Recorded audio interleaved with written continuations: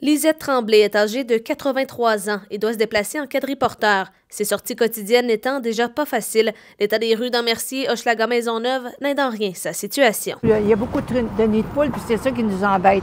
Parce que nous, on ne peut pas rouler dans le milieu de la rue. Il faut, il faut toujours être au bar. Et au bar, c'est encore là le, le pire. C'est difficile, mais j'en ai besoin pour ma santé. Alors, je ne peux pas faire autrement que faire mes petites commissions avec. L'octogénaire atteinte d'angine de poitrine se sent oubliée parmi les autres utilisateurs de la route, alors qu'elle doit prioriser sa sécurité. À noter qu'au Québec, les personnes qui utilisent une aide à la mobilité motorisée peuvent circuler sur la chaussée où la limite de vitesse est de 50 km à l'heure ou moins. Tu le vois qu'il y a un, trou, là. Mais là, s'il y a un auto, moi, dans mon miroir qui s'en vient, je peux pas couper l'auto pour, pour éviter le trou. Alors, je passe dedans, bing bang.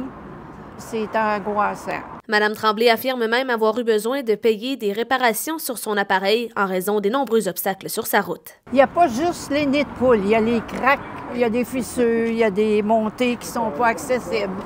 Ils sont trop hautes ou ils sont trop basses, il y a plein d'eau, il y a plein de boutiques.